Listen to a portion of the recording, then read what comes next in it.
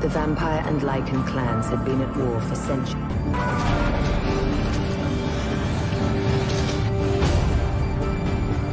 The film continues the ongoing war between vultures and Lycans, with Selene on the run from both the Lycan clan and the shark body that betrayed her.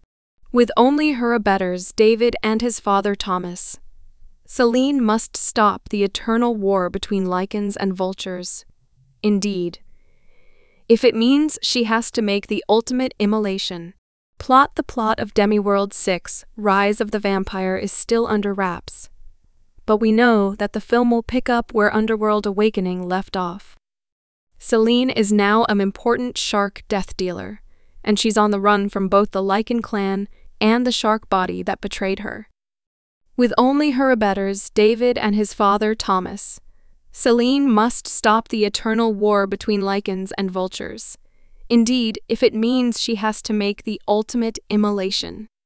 Cast The cast of Demiworld 6 Rise of the Vampire includes Kate Beckinsale as Selene Theo James, as David Charles Dance as Thomas Tobias Menzies, as Marius Lara Pulver as Sanjay James Faulkner, as Victor Bradley James, as Lycan leader Peter Anderson, as Elder Zeta Hanret, as Nora Clementine Nicholson, as Anya Daniel Surquira, as Marcus Michael Sosha, as Alex Chris Pang, as Jimmy Jamie Clayton, as Nora Richard Brake, as Lycan Warrior Michael Sheen, as Lucian, voiceover.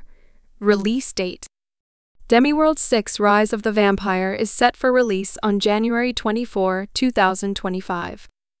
Caravan the Caravan for Demiworld 6 Rise of the Vampire was released on October 15, 2024.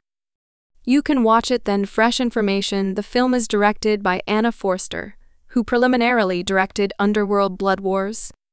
The script is by Corey Goodman, who also wrote Underworld Awakening.